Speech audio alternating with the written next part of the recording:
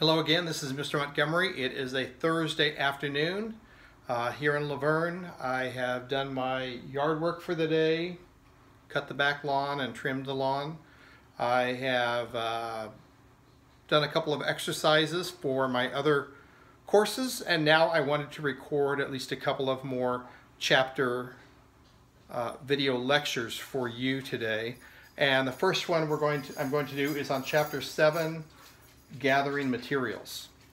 Now, you and I have done research for many years.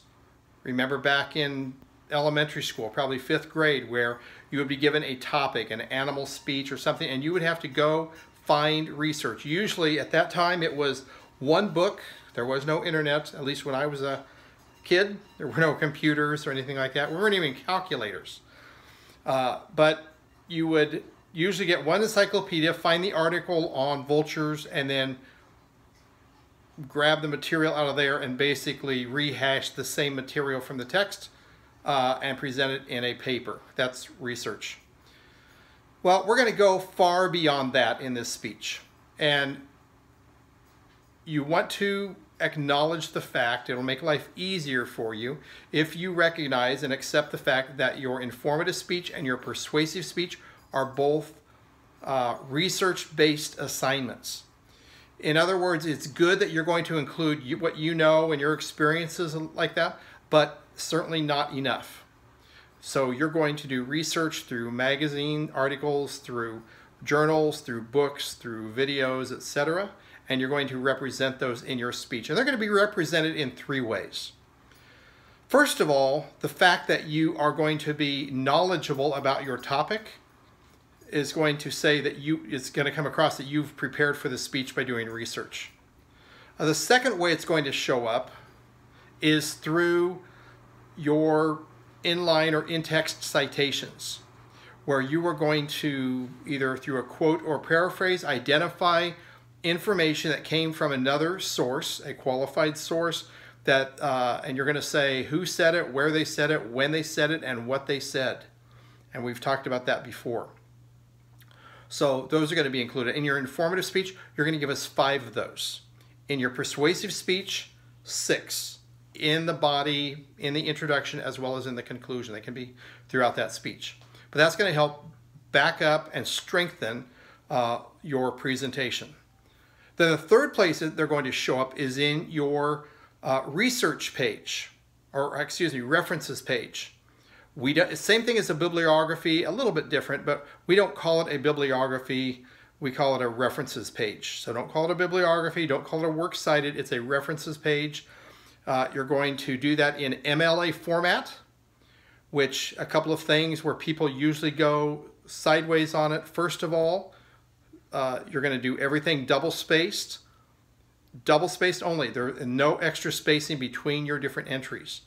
And then second, use uh, um, hanging indents. That is, the first line is all the way left justified, and then the second line is indented, and then the next entry, left justify, and then the extra lines are indented. So anyway, follow that format by name and then by um, double spacing and left uh, your hanging indents for your references. And in your informative speech, you have to have six references. And in your persuasive speech, you have to have uh, eight, speed, eight references. So eight. So anyway, so make sure you're on the right track with that. Lots of information to back up your uh, presentation that provides credibility and confidence in you as a speaker. So what I want to do in this chapter 7 is give you, go through over the proper methods for doing adequate and quality research. And so first of all, they say, use your own knowledge and experiences. If you are doing a speech on downhill snow skiing and you are a uh, avid downhill snow skier, you probably want to include your um, experiences in that presentation. Tell us about experiences you've had. Include them in there constantly, so that'd be good. And then also your knowledge. If you have background knowledge on the, on the first-hand knowledge, include that as well. Now, but the important part here is, and sometimes this is what happens, don't stop there. You are probably not an expert, an acknowledged and recognized expert in the field of your presentation. Maybe you are, that's great.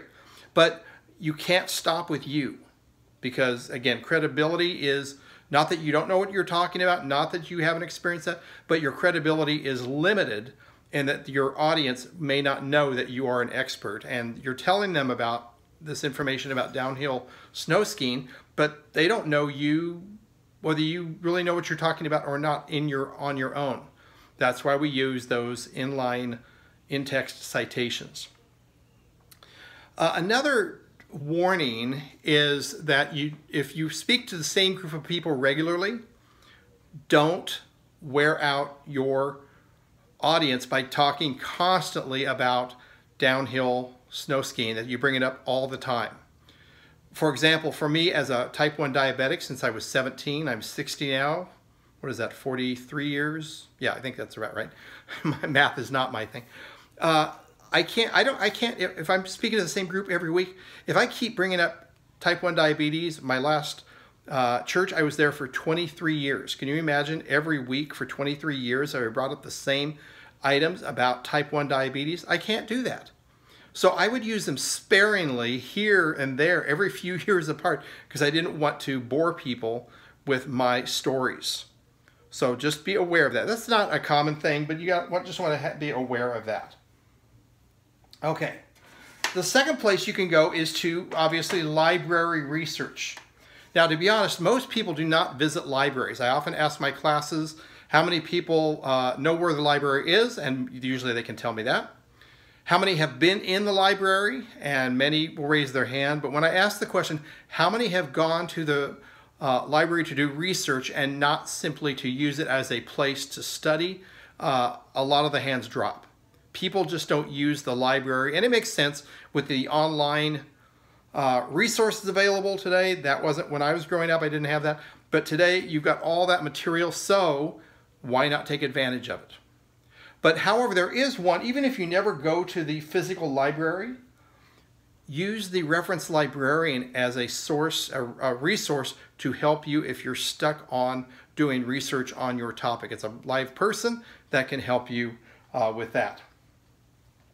Uh, they also mention using newspapers. Now, I do not know if uh, how many folks get a newspaper or read a newspaper. We don't, especially not the physical printed one that's thrown on your porch, that business is in the tank.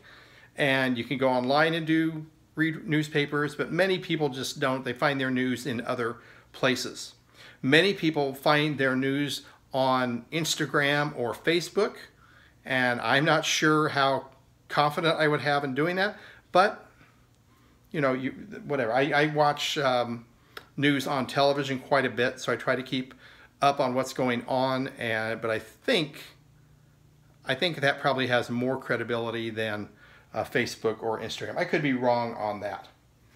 Uh, third is use databases. And I'm pretty sure all of you have used a database uh, where you will go online and type in your topic in a, in a school database usually, and it will give come back with multiple articles on your topic. So that's a great way uh, to do that. The next thing though, we need to then be able to decide how to evaluate all those articles that are in front of us. Are, are they all equal? Are they all fair game? Can I use any of them without hesitation? And the answer is no. Some articles have more uh, credibility than others. And so you have to have some kind of criteria to gauge the articles on. And the first one I want to mention is just if you're looking at articles from magazines, uh, Scientific American, for example, probably has more credibility than People magazine. Maybe credibility is not the right word, maybe depth or significance or uh, power of persuasion. That if you tell me you got something from People magazine, I might go, eh, who cares? But if you say Scientific American, National Geographic, I'm a little bit more willing to pay attention to an article from those because they have a reputation of being quality reference sources. So consider that. Another element we want to mention is the question of Wikipedia. Wikipedia has done a great job and gotten much better over the uh, years of becoming more credible. Early days, it was just somebody posted this and has it been checked? Has it been confirmed? Is it reliable information? And it wasn't as clear. Today, it's getting more and more reliable. I still don't want you to, in your speech, say, according to the Wikipedia article on Scottish kilts, I think it'd be a great speech. Nobody's ever done one on kilts. I'm a, I have some Scottish background, and that'd be interesting to find out, but nobody has done the work for me yet. But one way you can use Wikipedia, which I great, think is a great source, whenever I would come up with a topic I hadn't spoken on, I would go to Wikipedia and I would read the article just to give me a refresher or a uh, quick lesson on the topic. But then for my own research, I would then go to the uh, references listed in Wikipedia and see if there were any references I could use for my speech, which would probably have a higher level of credibility. So there is a way to use Wikipedia beyond just referencing the article. But don't quote or refer to Wikipedia articles. Find something with a little more, uh, what we might say, significance or gravitas. Something that has a little bit more weight to it in the research realm. Okay, so also when evaluating articles, they give us about three suggestions in the textbook. First of all, check out the author. Is the author somebody people are going to know offhand? Or is the author of questionable uh, character themselves? So when they hear that author's name, there's going to be a negative reaction to the author. So it just doesn't mean you can't use them, it just means you need to take that into account. They also mention sponsorship. Is there a group, an organization that is uh, uh, supporting the article or behind the article or on their website. And again, same thing. If that group has strong credibility, great. But if they have questionable uh, background or credibility, you've got to take that into account when you're using their material. Because even if the material in the article is good, people are still going to attach it to the uh, sponsor of the article, and that may you may lose some credibility that way. And then the third question they suggest to consider is recency. Is this an up-to-date article or a very old article?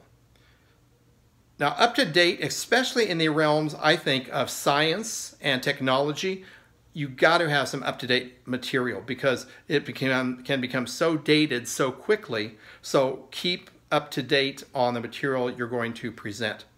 Other topics, older articles may make no difference at all. But anyway, at least consider the date of the article. Now, let me mention a method that hardly anyone uses in speech. I've heard, you know, thousands of speeches, and hardly anyone ever does an interview. And it is a, I think, a greatly overlooked great resource to have. If you're going to do a speech on uh, electric cars, why not call a local dealership, talk to the manager, and gather some information about electric cars?